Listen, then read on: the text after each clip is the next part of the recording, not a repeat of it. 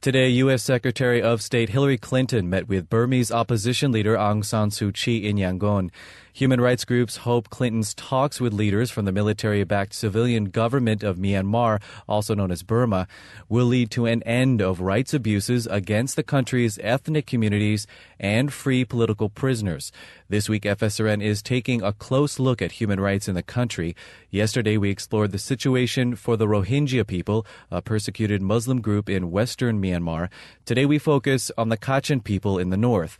As Ron Corben reports, recent accounts of ongoing attacks have come out, even as President Thein Sein talks of political reform in his country. The last trip to Myanmar by a U.S. Secretary of State was more than 50 years ago.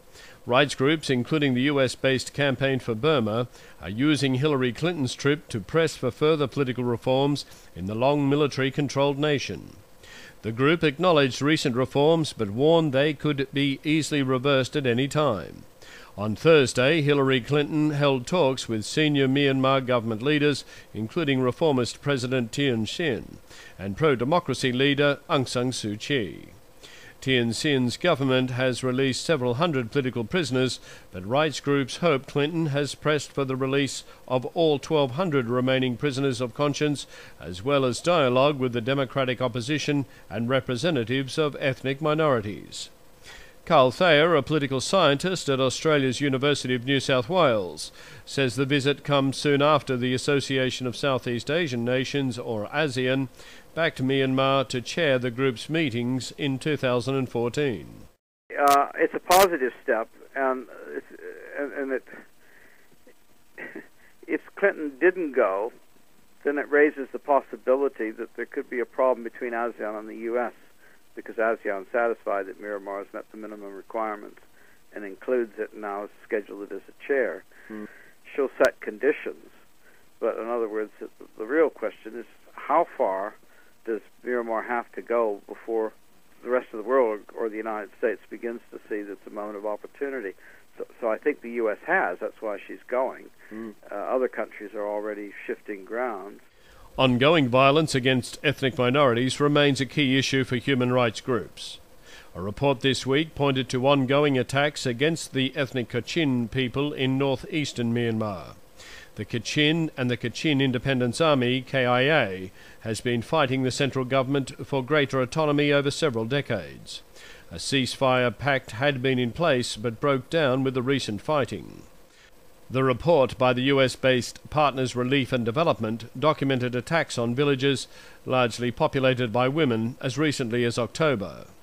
Ryan Erickson is co author of the report and says the Myanmar army has been carrying out attacks that are potential war crimes against civilians.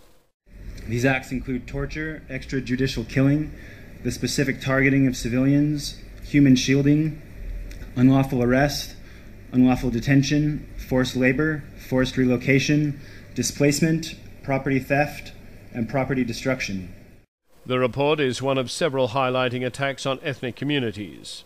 Several sources, including Kachin, spoke of the Myanmar Army's use of forms of chemical weapons or yellow rain against communities that triggered nausea and vomiting. Oddny Gumaer, a co-founder of the relief group, says they have also received reports of attacks on other communities. Well, uh, most of our reports right now are coming from Kachin State. Um, as you all know, if you know about Burma, the same kind of things have been happening in, in Karen State and in Shan State. And uh, as these things are happening in Kachin State, we're also getting similar reports from Northern Shan State.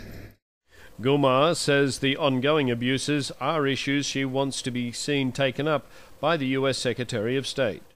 Yeah, definitely. I, I mean, I would, I, I would want Hillary Clinton to bring this up as she's meeting with the leaders in Burma.